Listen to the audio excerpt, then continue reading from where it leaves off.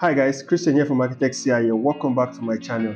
In this tutorial, I'm going to show you how to add dimensions in ArchiCAD. I'm going to show you how to add them manually, then I'm going to show you how to add them automatically. Let's dive in. Alright, let's dimension this plan. First thing I'm going to do is to pick the dimension tool. So under documents here, we have dimension tool. So I'm just going to click on it.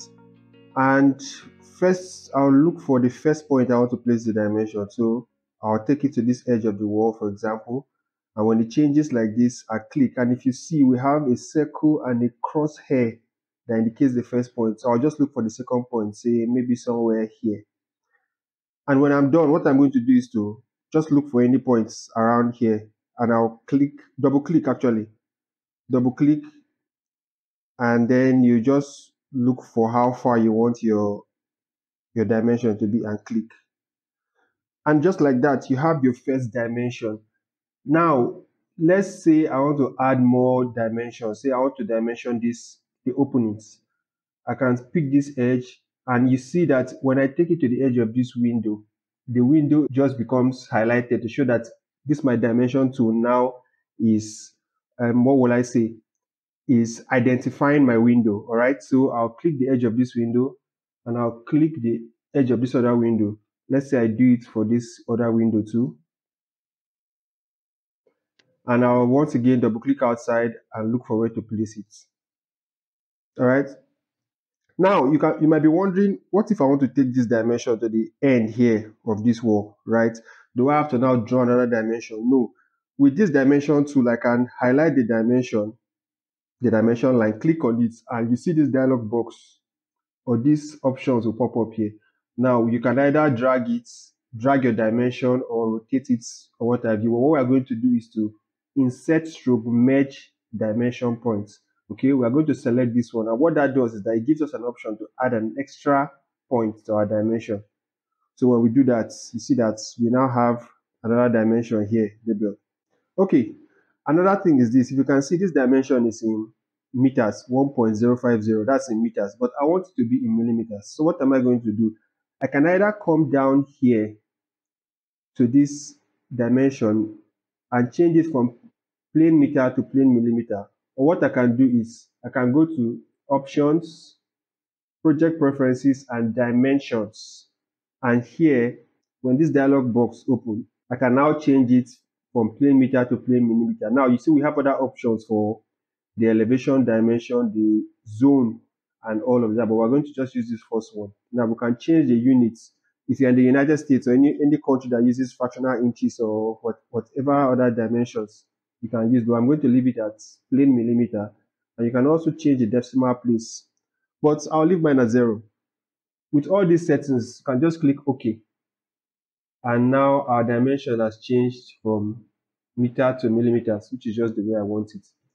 All right, let me add more dimensions to this side. Now, another cool thing this dimension tool can do is, or let me just show you one more thing. If I hold the Alt key, this my mouse pointer changes to what I'll call an eyedrop, an eyedrop tool. What the eyedrop does is that it can help you pick the parameters of this dimension. So if I take it to the dimension and just click, it picks the parameters of that dimension line. Instead of me going back to click on the dimension tool, I can just hold the Alt key and click on my dimension line to pick the parameters.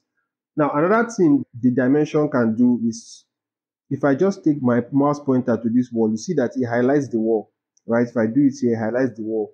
And if I make it highlighted and I click, you can see that two points have appeared in my wall to show that my dimension tool has picked the two points of my wall to be measured. I'll do it for this wall too, it picks. I'll do it for this wall too, it picks, and I'll do it for this wall. And just like that, you can measure all our spaces okay? And I can also pick this edge and pick this edge and place it. All right now you might be wondering do I have to do this for the entire you know all the areas of the of the building? Now that might be a little bit stressful. So what ArchiCAD does is give ArchiCAD has given us an option to automatically just dimension this building. Now, personally, I'll tell you what I personally do. I use automatic exterior dimensioning to dimension the exterior part of the building. Then because the interior part is very detailed, I can now go in manually to dimension the interior of the building. So let me show you how I dimension the exterior of my building automatically. But before I do, if you are finding this video helpful so far, please just do me a favor. You can just pause this video and take one second to like the video and subscribe to the channel if you're not subscribed yet. Thank you. So I'll just click on the dimension tool and do Control A to highlight all the dimensions and I'll click and I'll delete it. Alright, so what I'm going to do is I'll go to the marquee tool and just place the marquee tool over the entire building. Then watch what I'm going to do. I'll go to design, I'll click on wall and I'll do control A. What that does is it highlights only the wall. Again, let me show you what I did.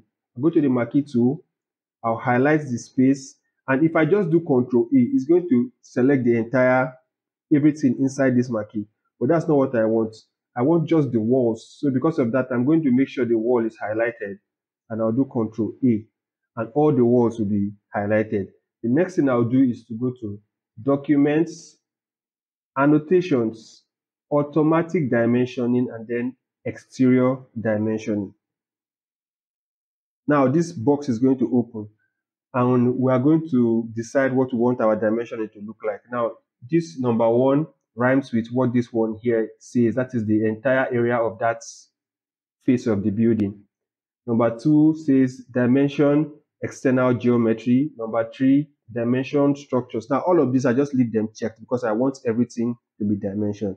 Now, you have the option to either dimension just the opening center or the endpoints. I'll leave it at endpoints. Another thing you want is the spaces between the dimension lines. I'll just leave mine at maybe say 800. And you want to make sure this place dimensions on four sides is checked. If not, when you place your dimension, it's going to place it only on the side you select. So I'll make sure this is checked. And with that, I'll click OK. Now, next thing I'm going to do is to make sure my dimension line. So again, I'll just click and make sure this line is either vertical or horizontal. What that says is that my dimension is going to be placed vertically or horizontally, not at an angle. Now, if I take this line and just put it at 45 degrees, then when I place my dimensions, it's going to all be arranged at a 45 degree angle. But I'm going to make sure this is vertical and I'll click. Then the next thing I'll do is to decide where I want my dimension to be placed. So I'll just place it like this. Okay, so you can see that automatically my dimensions has, has been placed all around. So this first one dimension the openings, the second one dimension the spaces, and the third one dimension the geometry of that space, and then the fourth one dimension the entire place. But you might be wondering, this all the lines in this dimension, they look quite disorganized, right? So we can now go in and start to arrange this dimension to be more cleaner. So what I can do is to go back to documents, I click on dimension and I do control A to select all the dimensions. Then I can now go to the dimension settings dialog or I just do control T to open dimension settings. Now here is where I can make all those changes to my dimensions. I can change the color of the dimension line. I can change the color of the text. I can also change the font style and the font size. All right. So the first thing I'm going to do is to change this witness line from dynamic. Right now it's on dynamic. I'm going to change it to custom heights and I'm going to make this custom heights. Now, since we made the space between our dimension line 800, I can make my custom witness line say 700 or I can still make it 800. And if I click OK, now the lines have reduced. So I can just highlight this one and control D and push it a little bit closer to my building. So these are the things you can do to just go in and rearrange your dimensions to be a bit more presentable. Now I can also go and control A and open the dialog box again. I can change the color of my dimension. Say I want all of it to show as red. I can change it and click OK. Now Instead of going into the dialog box, you can also make a few changes to your dimensions from these settings that is just available here. So say I want to change the font size or the font style. from Arial to something else, I can go here and change it. I like Flux Architect, so I can use Flux Architect and change it and reduce the font size to something like 1 or say 1.5. So these are just the little changes you can make to your to your dimension. All right. So with your with your dimension placed externally, you can now start going into your space to dimension the inside. So I can again hold the Alt key, pick the parameters of this dimension, and then I can go in and start picking points. Say I want to dimension this side. I can start picking points to place my dimension. But you notice something that if I click on this one now, you see that this witness line crosses over to the other side of the wall. I don't want it that way. I just want it to stop, probably adjust the edge of the wall. So I can do Control T and go back into my settings dialog. And instead of making it custom height, I can make it a sized height. So that way it's just going to stop at the edge of the wall.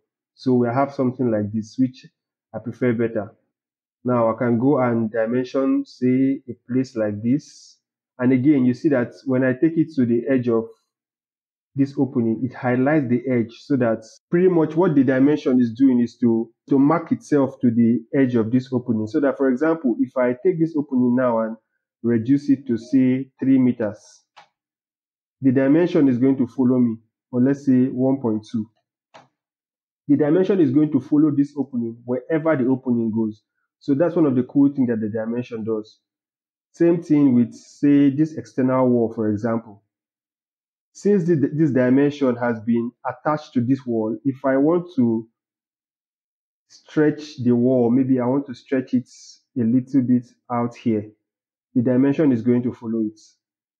You understand? So these are just some of the good things about uh, my dimension tool. So with that, I can now pick the parameters of these new dimensions I've created and then I'm going to start going in to dimension, you know, interior spaces just the way I want it. So that is how I dimension my exterior and interior spaces. Now, finally, another thing you can do after setting up all your dimensions, so you have the settings for exterior and the settings for interior dimensions. If you want to save these settings so that in a different project you can have it in your template and you want to use it, what you can do is to for example, I'm going to select this interior dimension. I'm going to do Control T to open the dialog box. Then I can go to up here where we have favorites and just click. And as you can see, I already have exterior dimension is saved as a favorite. I can go to new favorites and just make this interior dimension and click OK. That we will now have interior dimension saved. All right. And I click OK. So we have interior dimension saved. What that does is, let's say, for example, I want to change the settings of this one to interior dimension settings. I can just click on this line, go to Control T, and go to favorites, and I'm going to click interior dimension, and I'll click on apply. And when I click OK, you see that the parameters of this line, of this dimension line will now be changed to what we already saved as a favorite. So I'll do Control Z, because that's not what I want it to be. And that's it for this video guys. I hope you found this video helpful. If you did, please don't forget to like the video, subscribe to the channel and turn on the bell notification so that anytime I post a video, you'll be notified. Also, please let me know in the comments if you have any questions or you have any topic you'd like me to cover. And if you also want to learn more about documentation in Archicad, you can check some of my other videos about the layers and layer combinations and you can also check my videos on elevation tutorials. That's it for this video guys. Thanks for watching and see you in the next one.